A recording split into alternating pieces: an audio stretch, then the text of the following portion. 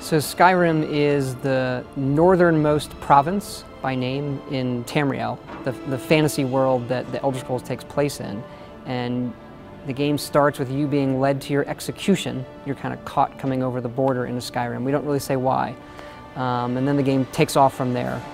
You find out that you are dragonborn. Uh, you're kind of anointed by the gods with the soul of a dragon.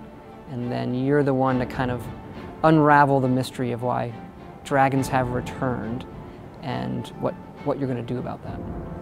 Yeah, so for us dragons, we now treat them like any other creature. So they can randomly appear, they go where they want to go, they do what they want to do. We want to be scary, you know, when they land on the screen. And they can hunt you down really well. They are using shouts, that's what their magic is. When he's breathing fire, if you listen close, he's talking.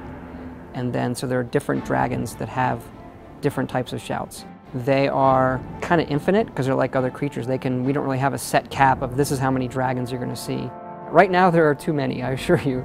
Um, it's hard. So we're, we're tuning that so it's, you know, a good balance. So one of the new gameplay things we have is the ability for the player to shout, um, use his voice. So even though you can put whatever you want in either hand, the right bumper on the Xbox does the shouting. The words are the language of dragons. You learn them in a few ways in the game. The main way is by going into these ancient Nordic temples where they used to worship dragons and they have dragon writing on the walls, and you learn a word. And then, because you're dragonborn, you can start using those.